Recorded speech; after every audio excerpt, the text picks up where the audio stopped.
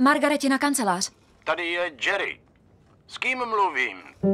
Chci nějaký čas zůstat v New Yorku. Co tvůj semestr? Už nechci rozebírat díla jiných lidí, Karle. Chci psát. Co takhle literární agentura? Bezva. A umíte psát na psacím stroji?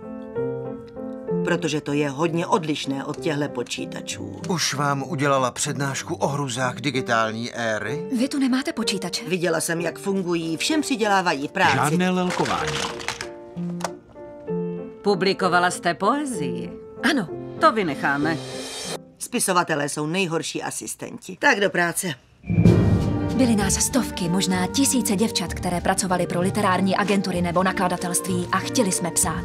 Jste taky spisovatelka? Joanna je má asistentka. Spisovatele si nenajímám. Hádejte, koho zastupujeme. Anne Riceovou? Papeže? Tomase Pinchna.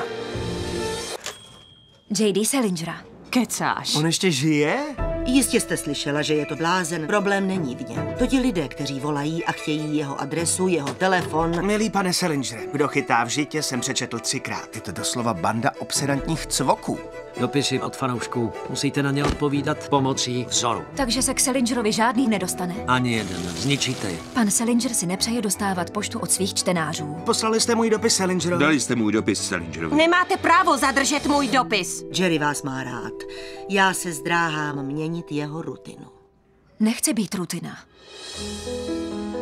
Nemáš plány? Říkáš, že chceš psát, ale děláš spoustu hodin pro jiné autory. Musíte to milovat. Chtít to. Víc než cokoliv jiného na světě.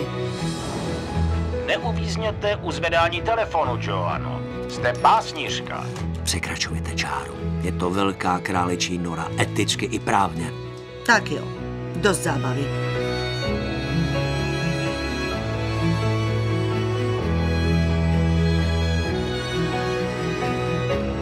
Nechtěla jsem být obyčejná. Chtěla jsem být mimořádná. Můj rok se Selingerem.